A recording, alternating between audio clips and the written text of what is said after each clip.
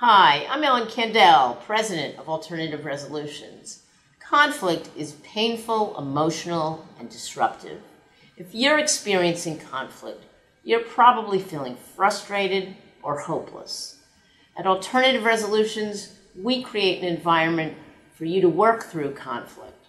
Through mediation, we believe parties to a dispute have the wisdom and capacity to resolve it. It's your process and your solution. We help you make the journey from conflict to consensus.